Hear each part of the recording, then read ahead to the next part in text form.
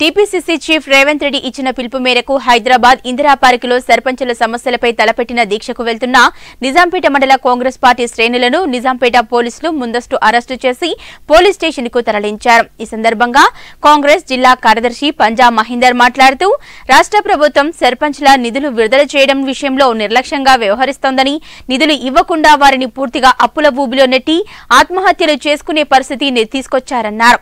ఈ ప్రభుత్వం పోలీసులతో అక్రమ అరెస్టులు చేయడాన్ని ఖండిస్తున్నామన్నారు.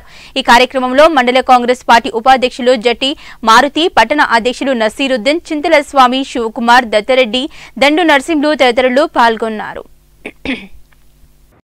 అప్పులు చేసి గ్రామాలను డెవలప్మెంట్ చేస్తే చేసి అప్పులు తీర్చలేక ఆత్మహత్య చేసుకున్న తరుణంలో ఫోర్టీన్ ఫిఫ్టీన్త్ ఫైనాన్స్ డబ్బులను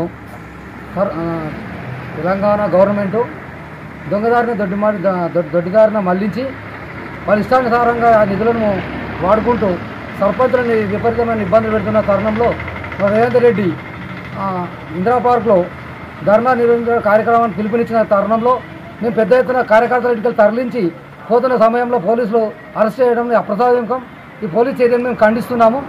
జై కాంగ్రెస్ జై జై కాంగ్రెస్.